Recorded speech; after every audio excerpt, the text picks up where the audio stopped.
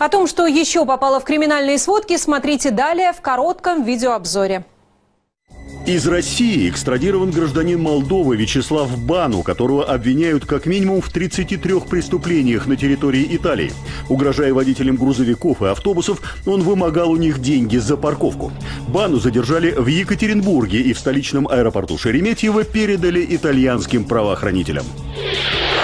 На территории одного из бизнес-центров на юге Москвы незнакомцы напали на 70-летнего пенсионера. Они избили потерпевшего и отобрали сумку с деньгами, телефоном и документами.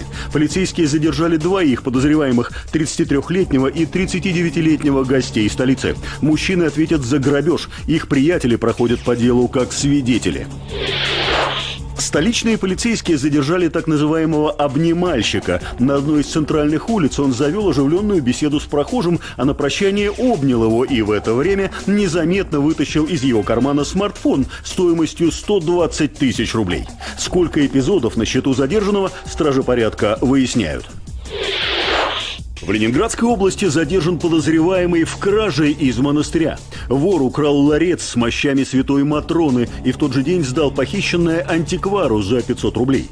На допросе мужчина рассказал, что его внимание привлек блестящий ларец, который он положил в рюкзак, когда охранник отвернулся, а что находится внутри его не интересовало. По статье «Кража» возбуждено уголовное дело «Мощи святой» в ближайшее время вернутся в храм.